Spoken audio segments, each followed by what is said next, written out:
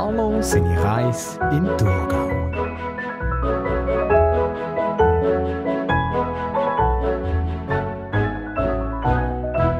Der Carlo sitzt auf einer Eisscholle und zählt die Schneeflocken, die vom Himmel abfallen. Die glitzern wunderbar in der Sonne, wo über der Arktis scheint. Die Arktis, die besteht aus Schnee und Eis und die Arktis, die liegt am Nordpol. Da wohnt eben auch der Carlo. Eisbären, so wie er einen ist, sind Einzelgänger. Einzelgänger, das heißt, sie leben allein und nur wenn sie Junge haben, leben sie ein Zeitchen mit diesen Jungen zusammen. So lebt auch der Carlo für sich allein auf einer Eisscholle in der Nähe von einem schwimmenden Eisberg mit einem grossen Zacken, wo wie ein Zeichen aus dem Wasser schaut. Von Zeit zu Zeit landet dort drauf ein Eisvogel auf der Spitze. Ja, es sind nur die Seevögel, wo der Carlo auf seiner Eisscholle besucht und das ist, sind wir ehrlich, schon ein bisschen traurig. Drum ist es auch um Carlo öppe die langweilig auf seiner kleinen Insel im ewigen Eis. So sitzt er auch heute wieder gelangweilt da auf seinem weissen Heime. Wenn man aber ganz genau anschaut, dann sieht man doch etwas Besonderes. Dort, auf dem kleinen Eisbrocken, nicht weit weg von seiner Eisscholle. Ja, dort ist etwas Rotes. Rot! Eine Farbe, wo man da nicht viel sieht. Weil das meiste da ist ja weiß. Was könnte denn das zum Guckerau sein, denkt der Carlo. Vielleicht kannst du ihm helfen. Halt, Carlo, was machst jetzt du da? Er lehnt sich grad weit über den Rand von seiner Eisscholle raus und ist schon mit seiner Vorderpfote im Wasser und streckt sich noch weiter raus. Carlo, pass bitte auf, sonst kein neues Wasser. Das wäre ja eigentlich auch nicht so schlimm, weil Eisbären können ja sehr gut schwimmen und sind sich auch an das eiskalte Wasser gewöhnt. Ja, jetzt ist klar, was der Carlo im Sinn hat. Er braucht seine Eisscholle als Boot und paddelt mit seinen Pfoten zu dem unbekannten roten Gegenstand an. Ha, das ist aber sehr schlau. Und wäre der Carlo nicht ein Eisbär, würde ich sagen, das sieht aus wie ein Hundeschwumm. Genauso wie wenn eben ein Hund, wo ins Wasser gesprungen ist, mit seinen Vorderpfoten auf etwas zuschwimmt. Du hast das sicher auch schon gesehen. Oder hast sogar selber schon mal an einem Hund etwas ins Wasser gerührt und der hat es mit großem Eifer wieder geholt. Unser Gallo kommt auf seinem Eisbrocken dem roten Ding immer näher stoßt mit dem zusammen und schnappt sich's mit seinen grossen Pfoten, hebt's fest und wer dabei eben fast ins Wasser geht. Ja, und jetzt? Was hat er zwischen seinen Pfoten? Etwas Kleines, Rundes. Es ist rot und es glänzt. Ja, genau. Du weißt es schon, oder? Es ist ein Äpfel. Das sehe ich ganz genau. Nur der Carlo schaut ganz verwundert und denkt sich, was ist denn das? Ist ja klar, dass er das nicht weiß, was es ist. In der Arktis gibt's keine Äpfelbäume und drum hat er auch noch nie einen Äpfel gesehen. Hast du auch schon mal eine Frucht in der Hand gehabt, wo du vielleicht nicht kennt hast? Zum Beispiel, wenn du mit der Mami oder dem Papi bist posten und bist durch den Laden gelaufen. Vielleicht hast du die unbekannten Früchte sogar auch mal dürfen in die Hand nehmen und hast dürfen dran schmücken. Genau das hat jetzt der Carlo auch gemacht. Er nimmt die rote Kugel in seine Vorderpfote und schnuppert dran. Hm, das schmeckt dann aber fein. Ich möchte wirklich gern wissen, woher das feine rote Ding kommt, hat er sich gedacht. Er streckt seine Bären Spürnase in die Luft auf, schnuppert und sucht nach Gerüchen, wo ihm das könnte verraten. Du weißt sicher, dass Bären eine ausgesprochene feine Nase haben. Viel feiner als die von uns Menschen oder die von einem Hund und dieselbe ist schon fein. Und tatsächlich, da ist doch ein Geruch in der Luft, wo er kennt. Der Geruch, den hat er doch schon mal geschmeckt, da, wo er auf einer grossen Insel aus Eis und Schnee den Menschen begegnet ist. Er paddelt auf seiner Eisscholle in die Richtung, wo der Geruch herkommt und sieht weit weg eine feine Rauchfahne über der grossen Insel aufsteigen. Er paddelt zu der Insel an, klettert aufs Eis und schleicht leisig auf die Stelle zu, wo der Rauch aufsteigt. Es schneit ganz schön fest. Der Carlo kommt langsam der Rauchfahne immer näher und da entdeckt er ein Lager mit vielen Zelt. Der Rauch kommt aus einem von diesen Zelt. Auf dem Zelt hat es eine Fahne. Die ist rot wie eine Kugel und in der Mitte hat es ein weißes Kreuz. Wir wissen natürlich, dass das eine Schweizer Fahne ist. Das sind Forscher und Forscherinnen aus der Schweiz, die auf einer Expedition sind, um das Wetter in der Arktis zu erforschen. Es sieht so aus, als wären alle Forscher und Wissenschaftler auf dieser Insel unterwegs. Doch da entdeckt der Carlo eine Frau, die gerade aus dem Zelt rauskommt, wo der Rauch eben aufgestiegen ist. Sie hat einen Stecker in der Hand und auf dem Spitz von dem Stecker hat es genau so eine rote, runde Kugel. Ein Öpfel. Genauer gesagt, ein Bratöpfel. Hast du auch schon mal so einen gegessen? Wow, das schmeckt denn gut. Dem Carlo läuft grad das Wasser im Mund zusammen. Voller Lust und Neugier wagt sich der Carlo näher ans Zeltlager an. Da entdeckt ihn die Frau. Sie verschreckt und macht einen Schritt zurück gegen das Zelt. Ui, ruft sie, ein Eisbär ist im Zeltlager. Sie scheint aber nicht wirklich große Angst vor dem Carlo zu haben. Sie macht ein paar Schritte auf ihn zu. Der Carlo sieht, dass die Frau eine dicke Jacke hat, kein Wunder bei dieser Kälte, und auf einem Schildli mit einem kleinen Schweizer Kreuz steht sogar ihr Name. Anna heißt sie. Was hast denn du da in deinen Pfoten? sagt sie jetzt zum Carlo. Komm, zeig mal. Ha, das ist ja ein Öpfel. Ich habe mir gerade so einen über dem Feuer brötelt. Möchtest du auch mal probieren? Der Carlo nickt, lächelt sie freundlich an und schon steckt Anna sein Öpfel an Stecken. Wir tun ihn über dem Feuer im Zelt bröteln. Komm rein, sagt Anna und winkt den Carlo zu sich. Sie sitzen zusammen am Feuer, der Carlo geniesst seinen ersten brötelten Äpfel und schmatzt. Mmm, ist der fein.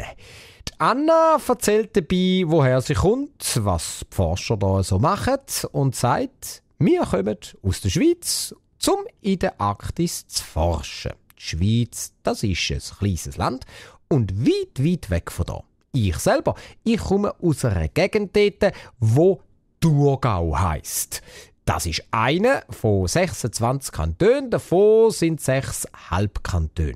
Und in meinem Heimatkanton gibt es eben ganz viele Äpfelbäume.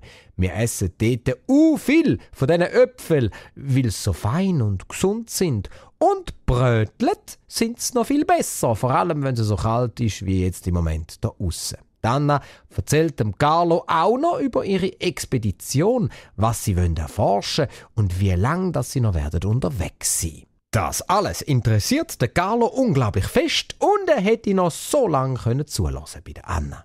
Es ist besser, du gehst jetzt aber langsam wieder heim, meint die Anna nach einem Zeitli. Weisst, meine Kolleginnen und Kollegen hätten sicher einen Bärenschreck, wenn sie dich da im Zeltlager würden da treffen. Obwohl du ja so ein lieber, putziger Eisbär bist. Wir möchten ihnen das aber doch lieber ersparen, gell? Der Carlo versteht das gut und bedankt sich bei der Anna mit einer herzhaften und festen Umarmung. Zum Abschied winkt er ihr nochmal zu, bevor er hinter dem nächsten Schneehügel verschwindet und auf seiner Eisscholle davon paddelt. Ja, da hat Anna schon recht. Unser Carlo ist ein besonders lieber Eisbär. Drum ist er auch unser Carlo. Anna hat dem Carlo zum Abschied ein Öpfel und ein kleines Büchli über die Schweiz geschenkt. Das schaut er sich jetzt gerade an in seiner Bärenhöhle und staunet über die vielen tollen Bilder von dem Land, wo so schön grün ist und viele blaue Seen und sogar Schnee und Eis hat in den Bergen oben. Da möchte er auch mal an. denkt sich der Carlo. Eine Reise in die Schweiz? Mit meiner Eisscholle in Süden paddeln? Das wäre definitiv keine gute Idee, denkt sich der Carlo. Die Anna hat ja erzählt, dass es dort viel wärmer ist und nur auf den Bergen Eis und Schnee hat. Die Eisscholle würde Carlo Bär ja unter seinen Pfoten wegschmelzen. Aber Moment, der Carlo hat eine gute Idee. Gerade am nächsten Tag fängt er mit dem Bau von einem Floß an. Und schon gleich ist das Floß parat. Der Carlo packt seine sieben Sachen, das heißt also alles, was er auf seiner Reise braucht, verstaut sie auf seinem Floß und dann kann es losgehen. Du fragst dich sicher, aus was denn der Carlo sein Floß gemacht hat? Ja, das hat er ganz geschickt gemacht. Er hat schon lang Triebholz gesammelt, wo an seinen Inseln angeschwemmt worden ist. Das Triebholz hat er dann mit einem Seil, das er im Wasser gefunden hat, zusammengeschnürt. Als Segel hat er ein grosses weißes Tuch, wo wahrscheinlich von einer früheren Expedition einmal liegen geblieben ist, genommen und an einen dicken Stecker gebunden. Das ist der Maste von seinem Segelfloß. Zum Abschied winkt der Carlo nochmals seinem Eisvogelfreund, em Felix, wo schon seit mehreren Jahren bei ihm auf der Insel wohnt. Jetzt kann's losgehen. Und schon treibt ihn ein starker Wind aufs Meer raus. Hohe Wellen schlönd gegen das Floß vom Carlo, aber das ist genau so bärenstark wie er selber. Zum guten Glück hebt das Floß. Mit einem langen Holzstück, wo er ganz hinten am Floß abgebunden hat, steuert er jetzt bärenmutig Richtung Süden. Zum Glück hat er das Büchli von der Anna mitgenommen, denn dort drin steht genau, wie man die Schweiz findet. Wahrscheinlich am besten einfach auch immer geradeaus, denkt er. In der Nacht bindet der Carlo sein Steuerholz an seiner Pfote fest und probiert ein bisschen zu schlafen. Er leitet sich in die Mitte vom Floß, dass er von einer Welle nicht abgespült werden kann. Sein dicke Eisbärenfell schützt ihn gut vor der Kälte und dem Wind. Der Carlo ist Menge Tag jetzt auf dem Floß unterwegs. Es ist eine lange Reise. Zum Glück hat er alle seine Vorräte mitgenommen. Nur das Trinkwasser hat er vergessen. Aber schlau wie der Carlo ist, hat er auch für das eine Lösung. Wenn es nämlich mal kommt regnen, leitet er sich schnell auf den Rücken, macht das Maul weit auf und trinkt das Regenwasser. Es ist wieder Abend geworden. Der Carlo ist müde und möchte schlafen. Doch da kommt plötzlich ein heftiger Wind auf. Es stürmt, wie verrückt, so fest, dass sich der Carlo mit seinen Krallen und mit aller Kraft an den Holzstämmen vom Floß festklammern muss, so dass er nicht weggeluftet wird. Vor lauter Müdigkeit und Erschöpfung schlaft er fast ein. Er merkt dabei gar nicht, dass er plötzlich vom Wind mit samt dem Floß in die Luft aufgewirbelt wird und übers Meer fliegt. Der Wind treibt unseren Bärenfreund immer weiter weg vom Meer, übers Land, Berge und Täler. Und irgendwann stellt der Wind ab und das Floß landet sanft auf einem See. Der Carlo hat vor all dem nichts gemerkt. So tief und fest hat er geschlafen. Erst, wo die Sonne ihm ins Gesicht scheint, verwacht er. Er geht, reibt sich beide Augen und denkt, jetzt sollte ich denn schon gleich mal in dem Land, in der Schweiz sein. Da hört er eine Möwe, wo über ihn kreischt. Ein Bär, ein Eisbär, zmitzt auf dem Bodensee. Hat man denn so etwas schon mal gesehen? Bodensee. Der Carlo schaut um und tatsächlich, sein Floß liegt ganz ruhig auf dem Wasser. Keine Welle und das Wasser hat ganz eine andere Farbe. Ein anderes Blau. Wunderschön. Genau so ein Blau wie der See im Büchli. In dem Büchli über die Schweiz. Der Carlo ist in der Schweiz angekommen. Ohne dass er es gemerkt hat, ist sein Floß ans Ufer geschwemmt worden. Im Garten von einem Haus, gar nicht weit vom Strand weg, entdeckt er an einem Masten eine Fahne. Präzis so eine, wie er im Zeltlager in der Arktis gesehen hat. Ein weißes Kreuz auf rotem Grund.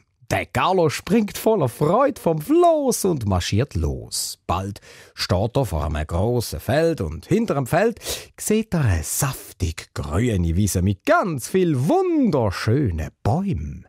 Das ist wunderbar. Wenn man an einem neuen Ort so empfangen wird, denkt er sich und strahlt übers ganze Gesicht. Das sind sicher Äpfelbäume. Ja, du hast richtig geraten, Carlo. Plötzlich blieb der Mann vor dem Carlo stehen. Grüezi, Eisbär. Was machst denn du da? Ein schneeweißer Eisbär bei uns im Thurgau in der Natur.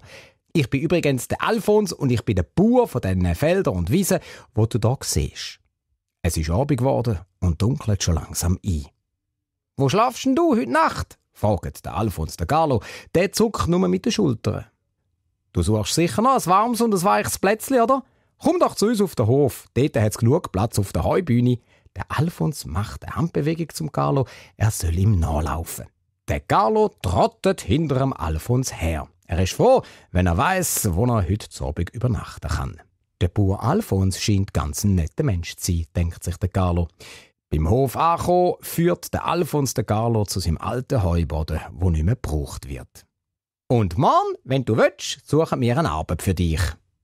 Der Carlo nickt begeistert. Ich frage mal unseren Nachbarn, den Thomas. Der arbeitet bei der Thurgauer Kantonalbank. Die brauchen immer mal wieder tüchtige Leute. Aber jetzt schlaf gut und bis morgen, Herr Eisbär. Oder hast du einen richtigen Namen? Der Galler zeigt mit seiner Pfote auf sein hellgrüne Halstuch. Das hat er sich vor langer Zeit beim Suchen nach Beeren in der Arktis um den Hals gewickelt. Es gefällt ihm so gut, dass er es gar nicht mehr möchte abziehen. Auf dem Tuch steht mit grossen Buchstaben Carlo. Freut mich, Carlo, sagt Alfons und streckt ihm die Hand hin. Der ist überglücklich und strahlt übers ganze Gesicht. Dann macht er sich's im Heu bequem, schnuppert nochmal ganz fest an seinem Öpfel. Der hat er auf dem Weg da von der Wiese aufgelesen und dann geht ihm auch schon gleich die Äugli zu. Und schon in der ersten Nacht in seiner neuen Heimat träumt der Carlo von seinem neuen Leben in der Schweiz. In seiner neuen Heimat, im Thurgau. Man sagt, und das weißt du vielleicht auch schon, dass das, wo man in der ersten Nacht an einem neuen Ort, in einem neuen Dihei oder sogar in einem neuen Bett träumt, dass das wirklich wahr wird. Hörst, wie der Carlo schnarchelt? Er träumt sicher etwas Schönes, weil er lächelt und er scheint sehr glücklich zu sein. Vielleicht ist ja bei dir auch schon gleich Abend und du bist genauso müde, wie der Carlo dort mal war.